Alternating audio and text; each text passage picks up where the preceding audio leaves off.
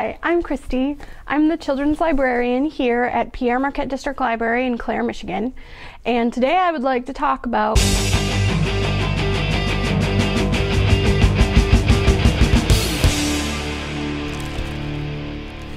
picture books. I know what you may be thinking. Picture books are meant for children. Why should I care about them?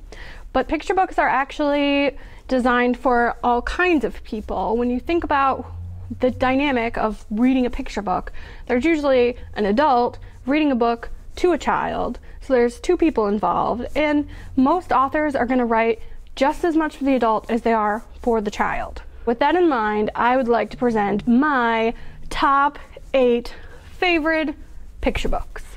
Number eight Home by Carson Ellis. So, this author, if you've ever heard of the band The Decemberists, does a lot of artwork for them and really is just all about the art, which I think is just amazing. So, if we open it up, we can just see these beautiful pictures of different kinds of homes. I just think it's enjoyable to look at the artwork of this book. Oh, and just kind of enjoy it as a piece of art. Number seven where the Wild Things Are by Maurice Sendak. Been a book that most of you have probably grown up with, or a lot of you probably remember, and I grew up with it as well and have always really liked it. There's a movie based on it, which is really takes the a simple idea from a picture book and makes it more complicated.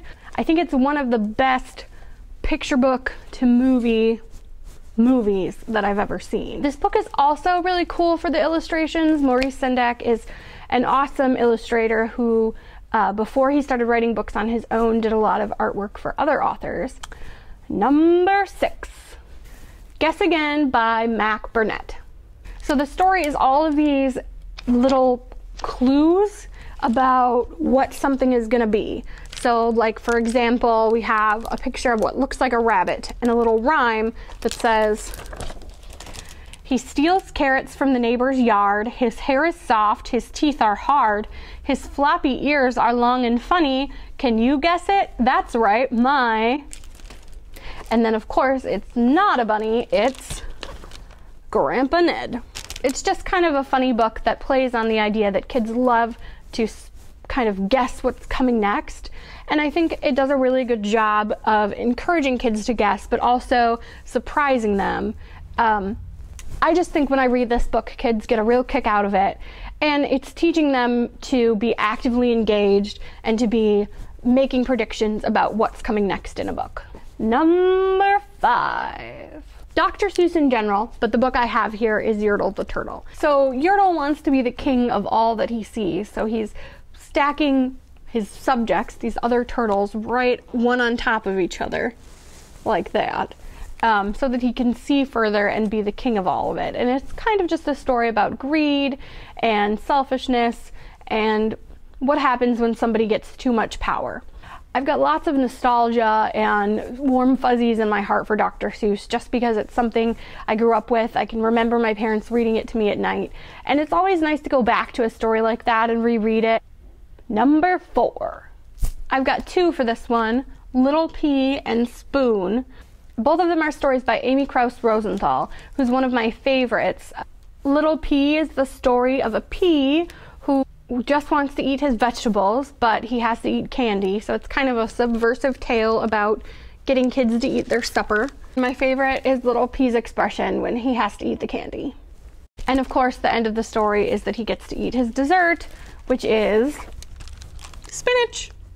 Spoon is another kind of inanimate object tale about a spoon who is really enjoying his life, but then at some point kind of feels like it might be more fun to be chopsticks or to be a knife.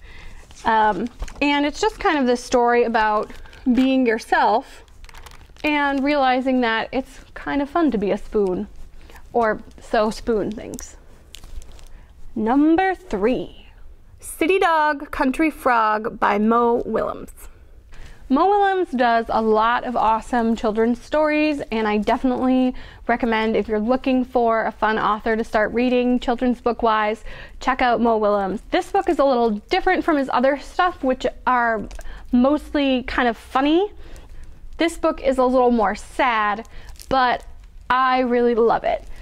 It's the story of a dog and a frog and the dog is from the city. He comes to the country, and Country Frog kind of is showing him what life in the country is like. Instead of being a regular Mo Willems story and being kind of funny and lighthearted, this one kind of tackles issues of grief and what's it like when you lose a friend, either because it they died or maybe that you just moved away or whatever. It's about feeling the loss of that person and then being able to move on and pass all of the things that they taught you to someone else. I think it's a great story for kids, but also a really good one for adults and one that I think you can enjoy no matter what your age is. Number two Flossie and the Fox by Patricia C. McKissack. I really love retellings of old fairy tales, but this is really one of my favorites from that kind of genre of children's books. It really twists the original story of Little Red Riding Hood, which is be afraid of wolves, be afraid of men, warnings to little girls. Instead, the story is about Flossie and how she outsmarts the fox. And Flossie is pretty awesome. She is quick witted and her interactions with the fox are quite funny. Flossie is the hero of this story. She's the one who outsmarts the fox. She doesn't need anyone else to do it. It's just a really exciting tale that takes a classic white male privileged fairy tale and makes it into something that's really relatable and is teaching little girls that they're smart and that they can handle themselves in the world and they can be the hero of their own stories. Number one this is Not My Hat by Jon Klassen.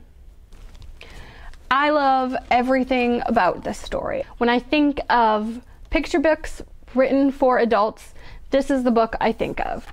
Not only are the illustrations just beautiful, but it also has kind of a, a cryptic or double meaning message that's exciting to see kids get and is also kind of just funny for adults as well. This is a really simple story about a little fish who's stolen a hat from a big fish. But that fish was sleeping and he probably won't wake up for a long time. And he probably won't notice that his hat is gone. And even if he does notice, he's not going to know it's the little fish that took it, right? So this, as you can kind of see from those illustrations, is a story that tells the words are telling a different message than the pictures are. And it's kind of up to interpretation what happens. Um, but it's really awesome to read to a child and see them kind of try and figure out, like, oh no, that big fish does know what's going to happen, and he does know who took his hat, and he's coming for the little fish. It's just kind of a funny story. It's got like a little bit of a dark humor to it, because you kind of think that the big fish is going to eat the little fish. But does it really well, does it in a way that's enjoyable for both kids and parents. And I think teaches kids something about not trusting the narrator of a story, that the narrator is different from the author of the story, and that there's something going on besides what the narrator is telling you. So, thanks for watching. I'd love to see in the comments what your guys' favorite children's books are and what you love to read children's books wise. Be sure to subscribe, and I'll see you next time.